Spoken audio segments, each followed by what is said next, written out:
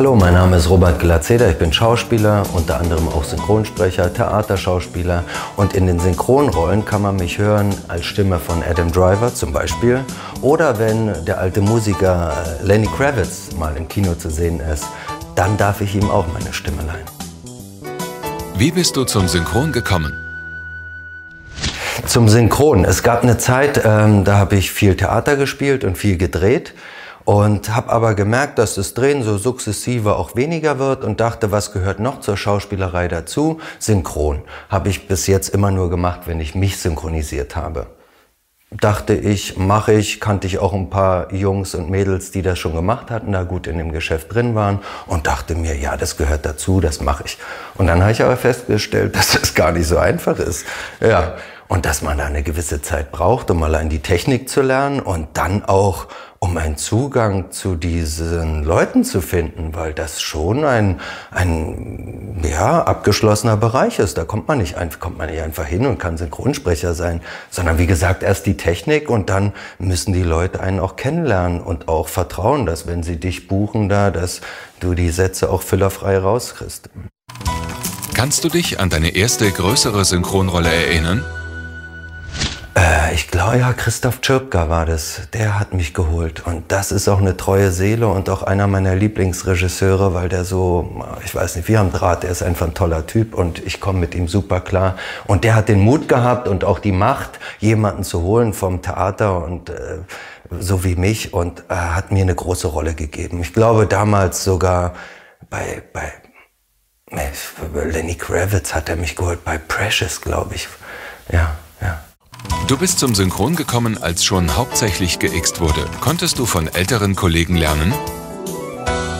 Naja, wie du sagst, das fällt ja nun mal schon weg, so Kollegen. Nur wenn man sich mal reinsetzt und Interesse hat und ab und zu mal guckt hinten in der Regie, wie der das macht und was der macht, dann ähm, kann man sich eine Menge abgucken. Und ich bin auch wieder erstaunt immer wieder, wie einige da ähm, ja, was für eine Technik die für sich entwickelt haben vom Mikrofon. Einige sitzen, für mich undenkbar, andere spielen total verrückt und ähm, ja, und, und äh, das Spannende ist ja auch immer, wie man über gewisse Probleme drüber hinwegkommt. Und da sind nun die Regisseure oft eine Hilfestellung. Oder eben auch nicht, wenn es ein nicht so ein netter Regisseur ist, dann macht er dich fertig. Aber äh, da gibt schon Tricks, wie man über gewisse Klippen hinwegkommt. Spannend. Also gibt es irgendjemanden, äh, wo du dir jetzt im Nachhinein wünschen würdest, mit dem hätte ich gerne mal zusammen im Synchronstudio gestanden? Ja, so alte Hasen halt. Äh, Christian Brückner oder, oder hier die Stimme von Balu der Bär. Ich glaube, der hieß Ott oder sowas. Äh, super Typ, also sowas. Oder Sonnenschein. Ähm, hm, ja, so die alte Garde, die noch so eine andere Sprache auch hatten. Äh, da würde ich gerne mal Mäuschen sein, ja. Wie wurdest du die deutsche Stimme von Lenny Kravitz als Sinner in Die Tribute von Panem? Ja, da war ja nur eine kleine Gastrolle und so. Ja, die Stimme, wie, äh, keine Ahnung. Ich hoffe, ich habe das irgendwie getroffen. So ein leicht schraderiger Ton ist ja bei mir drin, leicht kaputt und so. Und äh, ja, dann kommt es aufs Spiel drauf an. Und ich hoffe, es war okay. Also es war eine tolle Rolle. Dieser Modeschöpfer war das ja. ja. War dann aber auch tot, wurde erschlagen oder so. Das ist mein Schicksal. Ich werde immer erschlagen oder erschossen, weil ich oft so schwarze oder Puerto Ricaner Gangster spiele und so. Und dann denke ich, man, eine tolle Serienrolle und so. Und zweiter Teil. Ja, Robert, tut uns leid, der ist jetzt leider. Ja, so geht's mir oft. Aber dann kann ich zweimal besetzt werden in der Staffel 2 dann wieder der Drogendealer. Lenny Kravitz ist ja eigentlich Sänger. Singst du auch? Ich kann singen, aber äh, äh, in den Filmen, wo Lenny Kravitz jetzt mitgemacht hat, das waren ja keine Musicals oder so. Ähm, ja, da musste ich nicht singen oder so. Und äh, dass ich jetzt gebucht werde von Disney, weil ich so eine tolle Stimme, Gesangsstimme habe, ist äh, auch nicht so der Fall. Äh, könnte ich machen, äh, würde ich probieren, brauchte ich, bräuchte ich einen Coach oder sowas. Also habe ja auch vier Jahre Gesang auch im Studium gehabt, aber ich würde mich jetzt da nicht äh, äh, klopfen und sagen, hey, ich bin der Typ, der jetzt hier eure Sachen einsingt. Nee, nee. Und Lenny Kravitz würde ich auch nicht gesangsmäßig dubeln, bin doch nicht irre. Wie wichtig ist Musikalität für Synchron? Sehr, sehr wichtig. Also Rhythmusverständnis und äh, ja, auch die Stimmung, äh, wie Lieder interpretiert werden oder auch eben äh, Stimmung sind, so muss man dafür auch ein Öhrchen haben. Und gerade eben auch Rhythmus. Wie macht er die Pausen? Wo zieht er? Das ist ja, das ist diese Technik, die für einen Anfänger verdammt schwer ist. Verdammt schwer. Zudem, dass man dann noch die, die ganzen Worte da, diese auswendig lernen muss. Der Horror. Und dann noch gucken, wie der da schnappelt und so. Und dann noch der Regisseur und dann die Cutterin und dann willst du ja nicht mehr und dann oh Gott. Wie sieht ein typischer Synchrontag bei dir aus? Mit Lust und Laune hingehen und versuchen, eine gute Zeit zu haben. Weißt du, weißt du am Abend noch, was du gesprochen hast? Ja, ja, schon. Aber es gibt einige Sachen, die bleiben haften und einige, die gehen durch. Also heute meinte auch der Regisseur, na, den Namen habe ich dir jetzt doch schon dreimal gesagt. Ich so, ja, du, aber ich, äh, merk mir diese Namen, frage ich lieber nochmal, weil diese ganzen amerikanischen oder spanischen Namen, keine Ahnung, merk mir die doch nicht. Wirst ja irre, wenn ich die im Speicher habe. Knallst du durch. Raus damit, raus, rein, raus. Aber einige Filme, wie ein letzter jetzt, worauf wir vielleicht noch zu sprechen kommen, da haftet das sogar Tage noch an dir dran. Jetzt nicht Worte oder Sätze, sondern eine Stimmung. Wie wurdest du die deutsche Stimme von Adam Driver? Ja, der hat eigentlich im Original noch ein bisschen andere. Der klingt wie Kermit der Frosch, so ein bisschen ja, quakig und so ein bisschen so. Und ähm, wer, war, ich, wer, war denn da derjenige, der mich da vorgeschlagen hatte? Keine Ahnung, aber ist jetzt auch schon ewig her. Ähm, und äh, ich finde, ähm, das passt ganz gut. Also ich bin nicht so sonor äh, hm, und auch nicht so quäkig, aber ich habe was, was glaube ich passt. Jetzt nicht bei allen Filmen, sondern es gibt auch Leute so wie Jim Jarmusch, der mich da nicht haben wollte. Also richtig äh, gesagt, nee, die Stimme klingt ihm nicht tief genug. Und dann war ich plötzlich raus und dachte, okay, ja. obwohl mich alle haben wollten. Und ich dachte, ja, ja. Dann gibt's aber noch Julien, der ihn ja ausspricht in Star Wars. Na, das war was, oh, da komme ich mein Leben nicht drüber hinweg. Also, ja. Erzähl mal. Naja, ich hatte ihn ein paar Mal gesprochen und dann war ich zum Casting eingeladen und wir, alles gut und Björn Schaller hat das Ding da gemacht und äh, äh, mir ging ganz schön die Pumpe, weil das ist meine Kindheit, das ist, sind meine Helden, es ist mein, mein, mein Film, meine Teile, ja, die, also die ersten drei, die dann ja nicht die ersten drei waren, sondern ist ja auch egal. Äh, und äh, da dachte ich, ja, das. Aber wie es dann meist so ist, verkrampft man, wenn man es besonders will. Und Julien hat es bekommen macht er toll, alles gut, aber trotzdem, es schmerzt in der Seele, weil ich echter Fan bin. Ich glaube, Julian nicht mal. Ich weiß gar nicht, ob der damit was anfangen kann. Aber er macht sehr gut und alle sind happy. Ich bin traurig. Was macht das Spiel von Adam Driver aus? Na, der, der, der kann wirklich eine Palette spielen. Und was ich finde, was wirklich besonders ist, ist dieses Natürliche. Und da muss man als äh, Schauspieler auch echt aufpassen, dass man dem gerecht wird. Also da kannst du nicht irgendwie mal so aus der Hüfte schießen, sondern da musst du schon mal dein Herz öffnen und einen gucken lassen. Also gerade bei jetzt Marriage Story, diesem neuen Film, boah, ey. Und das war auch der Film, wo ich... Äh, wo ich fertig war, also Tage noch, weil, weil dieses Thema mit Trennung und was da so echt an die, an die Nieren geht. Wie war die Synchronarbeit an Marriage Story? Zum Glück mit meinem Lieblingsregisseur oh, äh, Christoph Tschirpka. Ähm, und äh, da wir eben so einen guten Draht zueinander haben und äh, ich so ein Vertrauen auch zu ihm, kann ich mein Herz ihm gegenüber öffnen. Das geht nicht mit jedem Regisseur.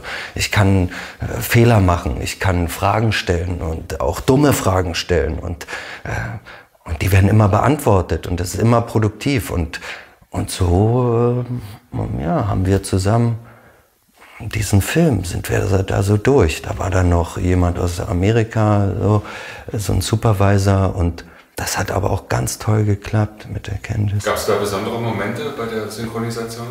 Ja, äh, wir hatten so eine Szene wirklich nicht geixt auf dem Sofa, wo wir versucht haben, zusammen etwas aufzunehmen. Eine schwierige Szene. Äh, sie äh, äh hier äh, äh Luisa, äh, genau. Und ich mit ihrem Hund daneben noch. Der war zum Glück ruhig. Und äh, wir haben versucht, diese Szene, weil die so intensiv war, aufeinander zu hören und abzunehmen. Das haben wir nicht durchgezogen bis zum Schluss, das haben wir am Anfang gemacht, um so reinzukommen und dann äh, wusste jeder, wie so die Stimmung ist und dann hat jeder sein Ding gemacht. War aber spannend, so auf dem Sofa nebeneinander sitzend und dann, ja. Hast du es mit nach Hause genommen? Die Synchronisation, also die Arbeit an diesem Film? Ja, ja, ja, wie gesagt, ich war fix und fertig danach, auch zu Hause noch. Hab dann gesagt, du, ich brauche ein bisschen Ruhe. Äh, schlaf du bitte bei den Kindern oder beim Kind. Ich brauche mal, ich muss schlafen, weil morgen wieder los und dann dauert das und das es, es zehrt doch sehr an mir. Wie gesagt, das ist nicht bei allen Projekten so. Da gehst du raus bei anderen und dann ist es weg und so. Aber bei dem Film, jeder, der ihn dann gesehen hat, wird wissen, so Trennungsgeschichte und das ist schon traurig, toll, lustig auch, aber naja. Erzähl mal von der Synchronarbeit an Black Clansman. Ja, auch Adam Driver. Genau. Na, auch. Und da noch humorvoller, also witziger. Aber genauso real und ja, was soll ich da erzählen mit Hannes? Äh, toll, ein junger Regisseur, Hannes Mauer. Äh, auch gleich einen Draht gehabt. Das ist das A und O. Ob du da einen Draht hast, gutes Buch und das, das funktioniert. Guter Film. Und äh, danke kann man da immer nur sagen, wenn man sowas dann äh, hat. Und daraufhin arbeitet man ja auch. Also ich, auch beim Synchron, ich weiß, dass 70 Prozent nimmt man so mit, danke, okay. Aber durch die 70 Prozent, die man so macht, sind dann diese 30 Prozent. Und diese Filme sind feste. Das ist dann so toll, macht so einen Spaß. Ja. Hast du einen Lieblingsfilm mit Adam Driver? Ähm, ich habe noch gemacht mit Hucky Tenstedt ähm, The Man Who Killed Don Quixote. Und der Film, den kennt keine Sau. Terry Gilliams, also ich meine, der Typ von Monty Python, äh, so, aber der Film ist untergegangen, kennt keine Sau, den gibt's aber.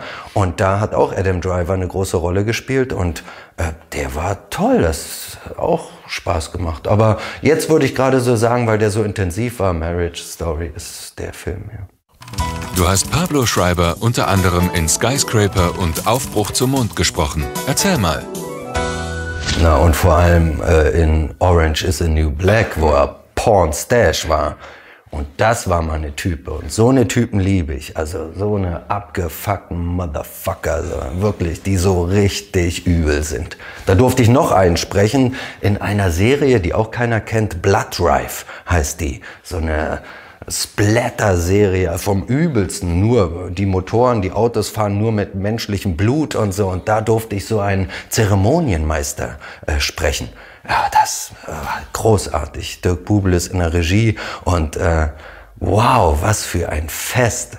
Und pa Pablo Schreiber eben auch, dieser Pornstash, der so ein übler Hund ist, der die Frauen so behandelt wie Dreck. Das darf man ja nicht im wirklichen Leben, ja. Aber da darf man es dann mal. Dann darf man auch sowas sagen, sowas Hundsgemeines und so. Und das ist herrlich. Ist das der Reiz, den der Beruf des Synchronsprechers ausmacht? Na, der Schauspielerei an sich. Also, wenn ich äh, drehen kann oder im Theater, das ist äh, toll. Du, ich kann Mörder sein, ich kann Vergewaltiger sein, ich, alles das, was, also nicht, dass ich das wollen würde, aber alte, diese ganzen Sachen, ich kann Clown sein, lustig, total. Dieses Schlüpfen, und so, das ist ja auch Therapie, du lebst dich ein bisschen aus. Und auch eben bei tollen Rollen im Synchron, du lebst das alles mit nach und bist so, das ist mh, toll. Ich liebe es. Noch liebe ich das alles, auch synchron. Also. Gibt es ein bestimmtes Rollenprofil, auf das du oft besetzt wirst? Naja, durch die Stimme. Also ich glaube jetzt nicht, dass ich der jugendliche Liebhaber so bin. Das weiß ich nicht. Aber mit meiner Stimme, ja, eher die Typen, die dann so erschossen werden. Also irgendwelche Mafia-Typen, ja, Mafia-Paten. Gibt es eine Synchronrolle, an die du dich gerne zurückerinnerst? Na, wir haben die jetzt eigentlich durch so. Das sind die, die so Extreme haben. Jetzt spreche ich auch wieder so einen Kommissar, der ist auch toll bei ähm, Broken Wood Mysteries. Ähm, aber so, so eine durchgeknallten Vögel, das, das finde ich toll, so wie bei Blood Drive. Ja. Du sprichst auch oft Rollen in Animes und Animationsfilmen. Was reizt dich an Trickcharakteren? Ja, die, die, die, noch auch die Verrücktheit, die Tollheit. Das würde ich übrigens gerne noch mehr machen. Also bei so, so, so, so ein Frettchen oder so ein Warzenschwein oder so. Ich glaube, da ist, da, da bin ich noch nicht äh, gefordert genug. Also da würde ich gerne noch mal zum Besten geben, ja. Sowas wie Sid hier, Otto Walkes, so ein Typ oder ein Mammut. Aber lieber äh, ein verrückteres Tier. Also mehr so ein Stachelschwein oder sowas. Ja, da habe ich Lust zu. Ja, weil du da, da spielst du richtig. Da versteckst du dich auch noch mal. so irgendwie verrückt. Das liebe ich. Bist du selbst auch Anime-Fan? Da habe ich letztens wieder eine, eine zweite Synchrofassung gemacht. Ja, da war ich auch, da habe ich auch Glück gehabt. Da war ich so ein schöner Bösewicht. Das ist super, so eine Rollen liebe ich. Kann ich ganz klar sagen, ich bin kein Fan, weil, dass ich mir sowas angucke zu Hause. Mein Bruder war da Fan von. Und wenn der geguckt hat, sogar Samstag früh damals um 5 Uhr hat er sich solche Sachen angeguckt. Naja, ich bin dafür nicht aufgestanden. Aber ich mache das, macht mir auch Spaß. Einige da war Bay, Beyblade, war glaube ich mal sowas. Das war auch gut, da war ich so ein Typ. Ja, aber es ist, ich bin kein Nerd oder sowas und kein Superfan. Was ist schwieriger, Anime oder Realfilm synchron?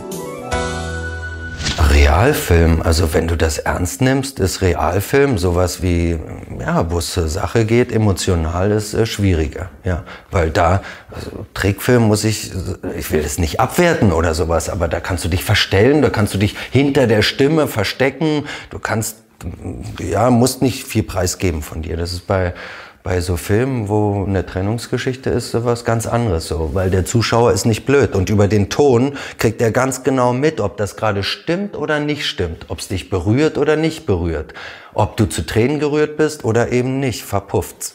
Und der Anspruch ist immer, die Leute zu treffen ins Herz. Und ähm, das schafft man bei, bei Disney-Filmen auch immer. Das finde ich verrückt. Also mit diesen Figuren jetzt, ich musste, äh, durfte äh, Eisprinzessin oder wie heißt sie, Teil 2 gucken mit meiner Tochter, ihr erstes großes Kinoerlebnis. Und ähm, na, wie liebend gerne ich da mitgemacht hätte, weil das ist ein Fest, die Bilder, auch die Synchronsprecher, alle großartig und toll. Äh, fand das, also das ist Kino. Und da mitzumachen ist immer toll. War es für dich als Synchronsprecher von Vorteil, dass dein Vater Winfried ein bekannter Schauspieler ist? Im Synchrongeschäft hat es, glaube ich, gar nicht so vielleicht ein erstes Aufhorchen, aber da hat es nicht so eine Bewandtnis, Bedeutung. Zumal er auch kein Synchron macht. Das ist zum Glück ein Feld, was er äh, nicht beackert hat. Also möchte er nicht, wollte er nie, hat er immer so, kann er nicht, sagt er auch. Könnte er schon, ich würde es toll finden, wenn er in einigen Rollen mal zu sehen, zu hören wäre, weil er eine tolle Stimme hat. So einen alten, verrückten Schrat könnte er bestimmt super geben. Ich weiß nicht, ob er das überhaupt noch so wirklich will, weil diese Technik, wie gesagt, ist ja schon, verlangt einem schon einiges ab. Aber auf die Frage zurückzukommen, der Name, pff, du, äh, ist äh, im Theater so, beim Drehen so, wenn du scheiße bist, hilft dir der Name auch nicht. Und im Synchron auch, wenn verhilft, ob du Glatzeder heißt oder, nein. Ne? Ähm, du hast ja erst Soziologie und BWL studiert? Nie wirklich. Habe ich mal so. Das war, weil mein Vater unbedingt die BAföG, nee, nicht BAföG, sondern Kindergeld weiterkriegen wollte. Musste ich mich einschreiben. Hat er gesagt, schreib dich ein, dann krieg irgendwie 60 Euro mehr. Irgendwie so was dran. Willst du später auch mal ins Dschungelcamp? Nie. Habe ich auch ihm abgeraten, aber für ihn war es richtig und gut. Und äh, er ist ein Abenteurer. Er wird äh, abenteuerlich sterben wahrscheinlich und äh, für mich überhaupt nicht, weil was, was, das ist für mich Affentheater, was soll ich da? Das brauche ich nicht, will ich nicht. Nein. Wo stehst du lieber? Vor der Kamera, auf der Bühne oder am Mikrofon? Ja, eben die Mischung ist es. Also ich glaube, ich wäre nicht glücklich, wenn ich nur eins von, von, von allem machen würde. Ich würde jetzt gerade wieder ein bisschen mehr drehen wollen, kannst du nie bestimmen. Mit dem Synchron läuft es super. Ich bin beschenkt mit tollen Rollen und im Theater auch immer wieder. In diesem Jahr wollen wir wahrscheinlich Hamlet machen. Ähm, das ist äh, super. Aber eben die Mischung da, dann bin ich glücklich. Und das ist für mich auch der Beruf. Also das eine bedingt das andere. Ja, du holst dir davon so viel Input aus dem Theater für dann wieder die Synchronrolle. Und beim Drehen kannst du nachvollziehen, was die Leute vor der Kamera wirklich da so machen, wie sich das anfühlt. Und das nimmst du auch wieder mit. Das ist für mich so. Da kommen noch viele andere Sachen dazu. Aber es ist künstlerisches Leben, Künstler. Ist für dich auch Synchronregie eine Option für die Zukunft?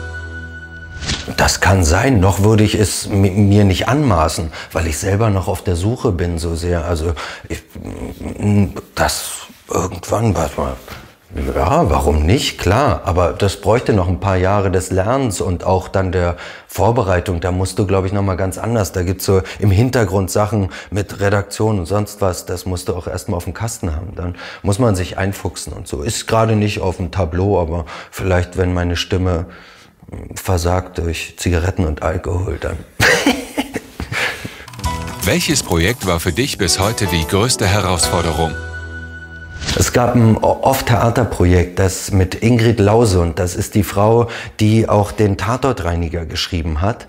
Und die, mit der habe ich ein Theaterprojekt gemacht und die hat nachts geschrieben und hat tagsüber mit uns probiert, die Texte. Und äh, wir, wir mussten diese Texte innerhalb kürzester Zeit auswendig lernen und mit ihr proben. Und Premiere waren drei Wochen und, äh, und die Texte waren so kompliziert. Und, und und da bin ich fast durchgeknallt. Das war mit einem meiner heraus Blut und Wasser geschwitzt. Ich habe zu Hause recherchiert, lernen, lernen. Wie kann ich diese Texte, die sie nachts schreibt, die vier DIN A4 Seiten, äh, in einem Tag lernen? Ich bin nicht der Typ, ich brauche vier Wochen dazu. Ähm, und es hat funktioniert, es hat irgendwie geklappt, wie magisch. Und es war eine der der verrücktesten und schönsten Arbeiten in meinem Schauspielerleben, obwohl es anfänglich so ist, dass, dass es so war, dass ich sollte eine Tür spielen. Und das ist ja immer der Witz in der Schauspielschule, spielen eine Tür oder ein Himbeerpudding oder so, ist ja lachhaft. und so, aber in dem Fall sollte ich eine Tür spielen. Und äh, mein Vater hat auch gesagt, was, oh Robert, bist du völlig, äh, nur mach mal, nur mach mal. Und dann wurde das ein wahnsinnig erfolgreiches Stück, auch zu Theatertreffen am Deutschen Theater gespielt. Wir wurden nach Stuttgart eingeladen. Also es war ein richtiger Knaller, was wir da gemacht haben, weil diese Frau auch so toll inszeniert und Gedanken hat, äh, auch leicht irre ist, die Ingrid, positiv gesehen. Und das war eine äh, Arbeit, mit Blut und Wasser und Erfolg und wunderschön. Was machst du, wenn du nicht im Studio oder auf der Bühne stehst? Familie, nur Familie. Das eine ist, äh, um die Familie zu ernähren und um auch Spaß zu haben und von der Familie mal wegzukommen. Aber der, der, der Kern ist die Familie. Meine Kinder, die wachsen so schnell, wie die Kinder von allen anderen auch. Aber es ist, äh, oh Gott, es ist eigentlich die Zeit für die Familie. Die, die eine ist fünfeinhalb, der andere ist anderthalb und sie rast die Zeit. Alle sagen es einem ja auch, ich weiß es auch.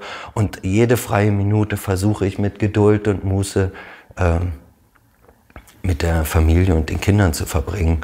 Äh, es kann natürlich trotzdem alles nach hinten losgehen und in der Pubertät werden die mir ans Bein pinkeln. Aber gut, äh, ich hab's versucht. Dein Tipp für Newcomer? Es ist äh, eine gute Zeit. Es, äh, besser geht's eigentlich gar nicht. Geduld, Geduld.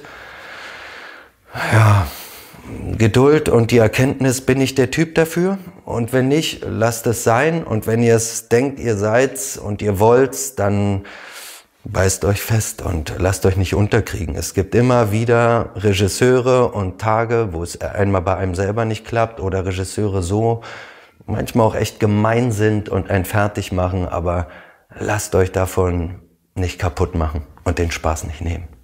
Was wünschst du dir für die Zukunft der Synchronbranche? Der Synchronbranche Zeit, das ist das Einzige, was ich mir wünsche. Zeit und ein bisschen mehr Kohle für uns Sprecher. Ähm, aber da, da liegt ja die Krux. Ja. So, und äh, in der heutigen Zeit, äh, wo alles nur noch schneller gehen muss und jede Serie ja kaum abgedreht wird, und also es ist echt Wahnsinn, ähm, wünsche ich mir trotzdem Zeit. Weil das ist die Qualität. Und wie ich sagte, es muss ins Herz gehen. Und da verliert man auf diesem Weg, wenn man hetzt, ganz viel. Und das ist schade und sollte nicht so sein.